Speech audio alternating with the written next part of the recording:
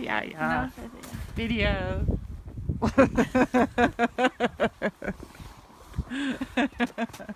Wait, I gotta back up so I can get a full. Bring the dog with you. Mm-mm. So, how would you describe your fashion mood today? My mother five years ago.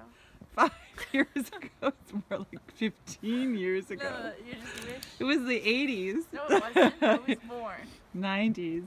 Yes. But I had it before you were born. Okay.